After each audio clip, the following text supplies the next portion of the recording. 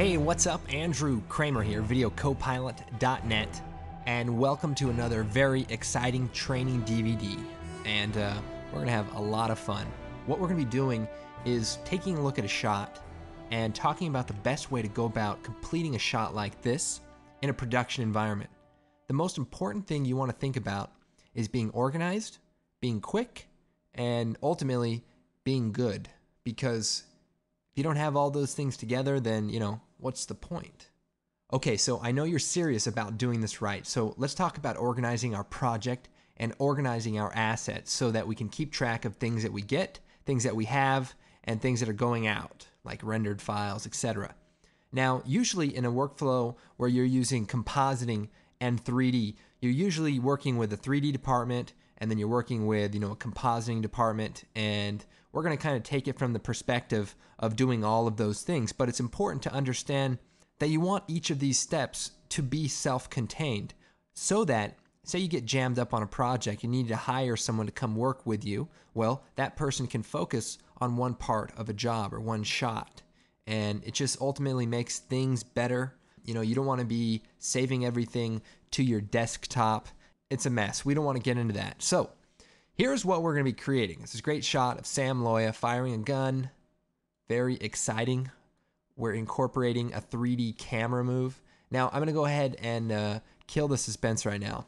The basic idea of this effect is we take a still shot, okay, a locked off shot of Sam, and then we pan around the room after the shot's done, and we get still frames of our environment. And then in 3D, we animate a camera following a bullet. And that is the camera that we're ultimately using inside of After Effects. And that's why everything stays perfectly together and the shot uh, looks so cohesive. Now, back to organizing. I've actually simplified our structure so we can just, you know, do this with any project that we want. This After Effects project is called Shot 0001. And what that means is I'm doing, say I'm doing a show, I'm doing a movie, and it's called uh, The Bullet Part 2 Army Ninjas Return uh, from the Dead. And it's a it's a B movie actually, obviously. Now there's not very many visual effects shots, but say there's a, a dozen or so. Well, we organize individual After Effects projects with shot 01, shot 02, shot 03, etc. And then inside of each of our projects, we have a folder called shot 001. And that way, if we ever need to compile our shots together, we can import the After Effects project into another project, and then we don't just get a bunch of files that are all over the place. Although After Effects does do a nice job of bringing it in, doing it this way will let you organize your assets that are specific to any one shot. So let's take a look at how I have it set up here. So shot one, we have a folder called assets and we have comps. Assets are more like things from outside of After Effects, things that we're importing, things that we're using as part of our project. Comps are the compositions in which we create in After Effects. Now, so for example, we have a 3D folder, and that's where we're going to import our 3D data, our 3D renders, our 3D layers, anything that we're going to come out of a 3D program. And we call it 3D because that way, all right, where's that shot? We know it's 3D. Bam, we can start looking for it in here instead of, you know, all over the place trying to search for it and you don't remember what it's called. Not a good idea. We have audio files, sound effects, music. We stick them all in there. Footage.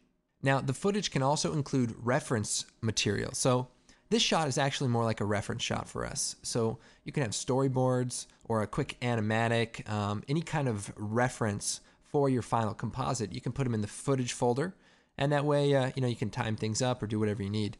And then images, obviously, uh, just still 2D art, anything that you want to kind of organize into there. And depending on what you do, you can set up another folder for, uh, you know, specific things. Um, you want this to be tailored to you, but at the same time, you want to maintain the discipline to do this on every project, big or small, because ultimately it's going to save you time if you're not searching for files and, you know, you're going to be pulling your hair out and you're going to turn 27 and you're not going to have any hair and everyone is going to leave you and you're going to be left alone and you'll be so lost in a mess of, of files that you'll ultimately just delete your hard drive. And by that, I mean commit suicide. Metaphorically, of course.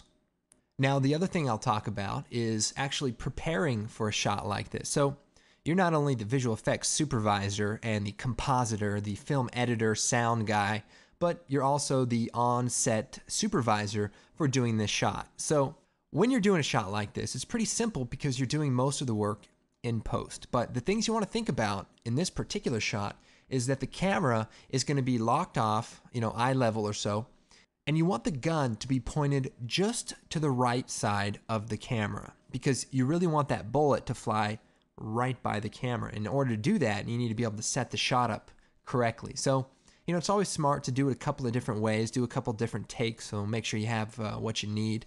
Now, we shot 60 frames per second, so if I go here, take a look at our footage, we have a shot of Sam holding the gun, and uh, open that up.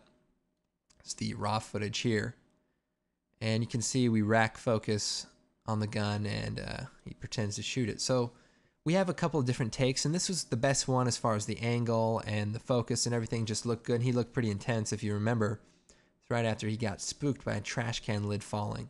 I mean, you know, it would have scared anybody, but uh, it scared him, which makes it even funnier. So, when you're on set, you know, you always want to be thinking about post production, whether or not you're doing it or not. You want to be able to have what you need, have reference points if you're doing tracking. I got to tell you, if you ever have points on a person's forehead for tracking something on there, it's a lot easier to take points off sometimes than it is to, you know, figure out where to track on someone's head, you know, to put a fake squib or or whatever. So uh, this introduction is more just a way uh, to waste time and uh, hear myself talk. And uh, I think I've uh, heard just about enough. And I'm sure you have. And you're probably shutting this off and throwing it in the trash or putting it on eBay. Um, well, I'm going to buy them all back and, you know, sell them again. Um, you also want to maintain a structure like this inside your actual hard drive. So if we take a look at my hard drive, I have my Bullet project. So that's the show's name. You know, it's called the Bullet. Um, remember the Army Ninjas from the Dead? And we go and open this up, and here's our footage, images, project files. We have 3D and After Effects project files. We have rendered elements, 2D, 3D. Keep it separated. That way you will not go crazy images. Um, this also includes 3D materials, reference photos. Um, we have some photos of the bullet and uh, things like that. So it's good to keep it all organized, um, and that way you can, you know, burn this whole folder onto a disk and send it off to somebody else to get it done because you just got tired of it and you just want out of the business. And so you're actually going to start like a computer repair shop and uh, deal with other people's problems and go through their images and stuff. So, you know, it's up to you, but you know, frankly, if you bought this DVD, I think you're interested in visual effects and I want to show you some awesome stuff. Okay, so let's go ahead and set up our footage and get ready for a good workflow and a good pipeline for getting visual effects done fast and on time and on budget.